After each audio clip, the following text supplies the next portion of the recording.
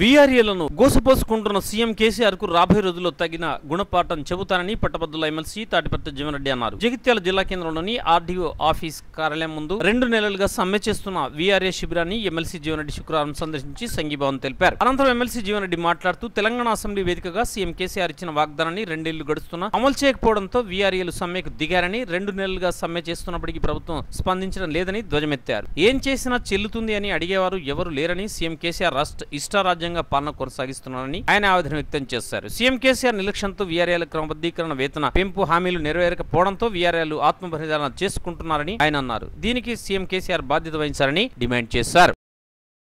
కనుక పద్దెనిమిది పద్దెనిమిది తేదీ వరకు దయచేసి పూర్తిగా చర్చించి మీకు జీవో వచ్చే వచ్చే విధంగా చేస్తామని ఓ నయవంచనకు పాల్పడడం జరిగింది. దానిలో భాగంగానే మా రాష్ట్ర జేఏసీ ఇచ్చిన పిలుపు మేరకు కూడా మేము ఉంటానని చెప్పడం జరిగింది.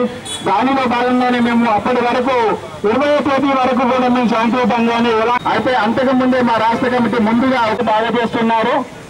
మీ సమ్మె వల్ల ఇప్పటికైతే నష్టం జరగలేదు. ప్రజాస్వామ్య దేశంలో సమ్మెలు చేసే హక్కు అందరికీ మీకు కూడా ఉంది. అయితే పక్కకు పడేసి వాళ్ళు ఏం చేస్తారో చేసుకొని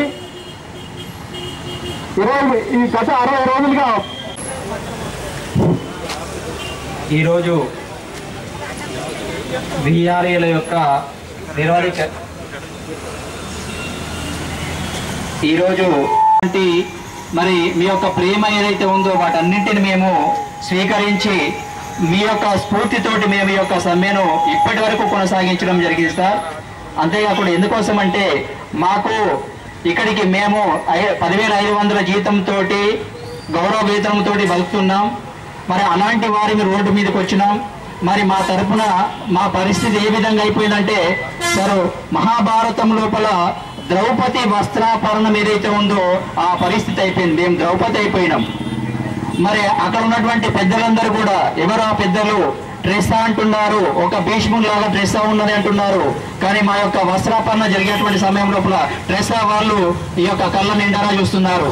టీఎన్జిఓస్ నాయకులందరూ కూడా కళ్ళ నిండారా చూస్తున్నారు. ఈ యొక్క ప్రభుత్వంలో ఉన్నటువంటి ప్రతి యొక్క మినిస్టర్ కానీ ఎమ్మెల్యే కానీ ఎమ్మెల్సీ కానీ ప్రతి ఒక్కరూ ఈ యొక్క ద్రౌపది వస్త్రాపన జరిగినటువంటి సమయం లోపల ఏ విధంగా చూస్తున్నారో అదే విధంగా చూస్తున్నారు. అంటే దుర్యోధన్ లాగా ఆ యొక్క సీఎం కేసీఆర్ సార్ ఉన్నారు.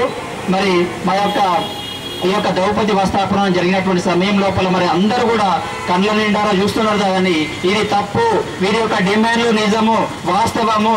వీరికి రాజ్యాంగ పరిహా రాజ్యాంగ ప్రకారము కొట్లాడేటువంటి హక్కు ఉంది. అంతేకాదు వాస్తవంగా స్వయంగా రాష్ట్ర ప్రభుత్వం గౌరవ ముఖ్యమంత్రి గారు ఏదైతుందో శాసనసభ వేదికగా నాకు ఇప్పుడే గుర్తుంది.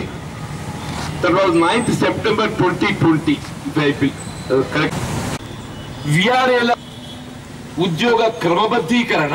అంటే వారి వేదభత్యాల క్రమబద్ధీకరణతో పాటుగా వారి పే స్కేల్స్ ఇంప్లిమెంటేషన్ కానివ్వండి ఇప్పుడు విఆర్ఓ వ్యవస్థ రద్దుతో ఏదైతుందో వారికి ఉన్నటువంటి ఏకైక ప్రమోషన్ ఛానల్నే నిలిచిపోతుంది.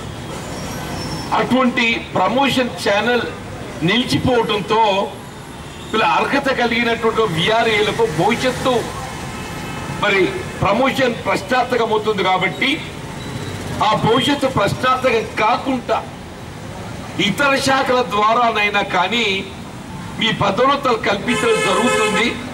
దానికి అనుగుణంగా ఏదైతుందో సత్వరమైన నిర్ణయం తీసుకుంటా అనే ఒక విశ్వాసాన్ని శాసనసభ వేదికగా కల్పించడం జరిగింది ఆ ప్రకటన వెలువడి రెండు సంవత్సరాలు గడుస్తుందా?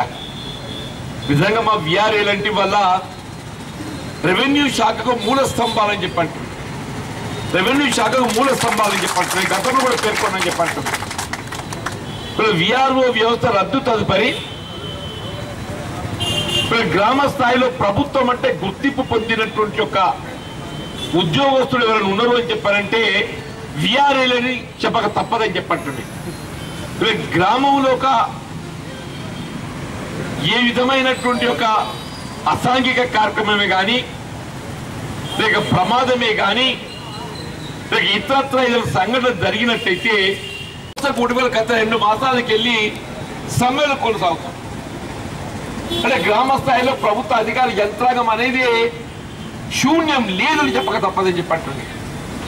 మనకు తెలియంది కాదు గత రెండు మాసాల నుండి రాష్ట్రంలో ప్రకృతి వైపరీత్యాలు వీళ్ళ ఈ అతివృష్టి వీటితో ఏదైతుందో మనకు ఉన్నటువంటి నీటి వనరులు చెరువులు కుంటలన్నీ ఏదైతుందో బ్రీచ్ కావటము పంట పొలాలన్నీ ఇసుక మెటలు వేయటము మన పంటలన్నీ తీవ్రంగా నష్టం కావటము చివరికి ప్రాణ నష్టం ఇండ్లు కూడా పోయినాయని చెప్పి అంటున్నాయి ఇదే మొన్నగా ఏదైతుందో ఈ ఈదురు గాలుతోని ఒక ఇల్లు మొత్తం కప్పు లేచిపోయింది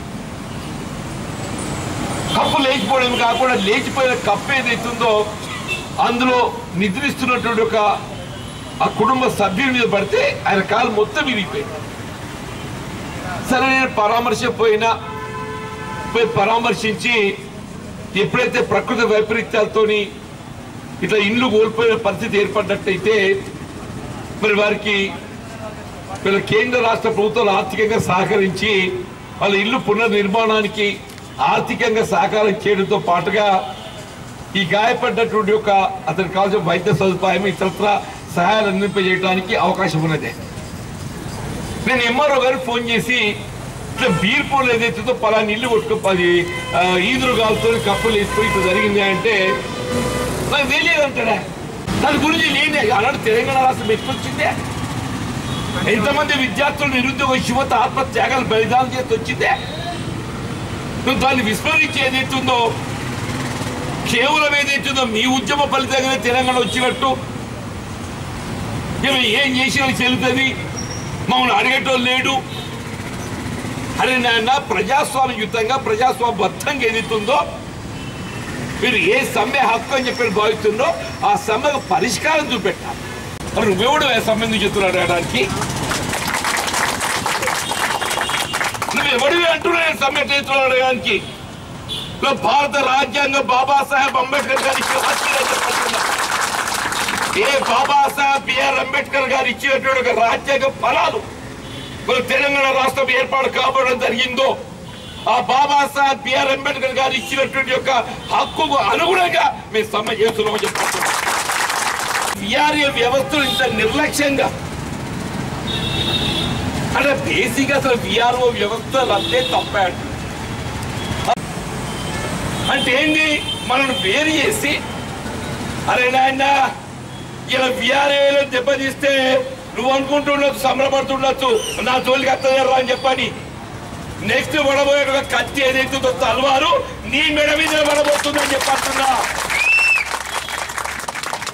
విఆర్ఏలు కాపాడుకుంటేనే రేపు మీకు భవిష్యత్తు ఉంటుంది చెప్పంటున్నా విఆర్ఏ కాపాడుకుంటేనే మీకు రేపు భవిష్యత్తు ఉంటుంది. విఆర్ఏ వ్యవస్థ? ఏ అది సుంకర్లాలు మేము ఏదైతుందో పటేళ్ళ మేము? మేము దొరలము? మీ దొరదలు ఎన్ని రోజులు ఉంటాయా ఇంకా? ఎన్ని రోజులు రాజ్యం చేస్తారా అని చెప్పండి ఎన్ని రోజులు రాజ్యం చేస్తారా అని చెప్పంటు నేను. విఆర్ఏ వ్యవస్థలో తొంభై శాతం నైంటీ పర్సెంట్ మా దళిత బిడ్డలు అని చెప్పండి దళిత బిడ్డలు అని చెప్పండి. ఒక ఆడబిడ్డ ప్రభుత్వ ఉద్యోగస్తులు ఎవరే కానీ ఏ స్థాయి ఉద్యోగమే కానివ్వండి చెప్పంటూ నేను. ప్రసూతికి మూడు మాసాల ముందు మూడు మాసాల తర్వాత. వాళ్ళ ఆన్ పేమెంట్ ఏదైతుందో వాళ్ళ విధిగా వాళ్ళకైతే సెలవు మంజూరు చేయాలి. ఈ కనీస ఇంగిత జ్ఞానం లేక తెలంగాణ కోరుతుంది ఇందుకే నానే అంటున్నా నేను. ఇది ఆలోచించండి చెప్పట్టు నేను. మీరు కోరేటి కోరికలు కాదు ఇవి. డిమాండ్స్ అంటున్నా డిమాండ్స్ హక్కులు అంటున్నాను నేను కూడా ఇరవై నాడు ఏదన్నా దీని పరిష్కారం లభిస్తుందని చెప్పి నొప్పి పట్టి చూద్దాం ఏదైపోలా ఎన్ఆర్ఈ చేస్తే ఫీల్డ్ అసిస్టెంట్స్ అని చెప్పి అంటున్నా. రెండేళ్ళు ఉసురు పోసుకుంటూ అంటున్నా. ఇక మన ఉసురు పోసుకుంటుండు. ఈడేం బాగుపడరు తల్లి ఈడేం బాగుపడరు అని చెప్పట్టు నేను దయచేసి ఎన్జిఓ నాయకులు ఎవరే కానీ అని చెప్పట్టు నేను ఇప్పుడు విఆర్ఏ కొనసాగుతున్న సమ్మె దీని మీ సంఘీభావంగా ఏదైతే తక్షణమే మీరు పెండ్ అవుట్ స్ట్రైక్ చేయండి. మీరు పెండౌట్ హౌస్ చేయండి అంటున్నా. లేని పక్షంలో ఇవాళ ఈ వ్యవస్థ మిమ్మల్ని క్షమించదు క్షమించదు క్షమించదని చెప్పాల్సింది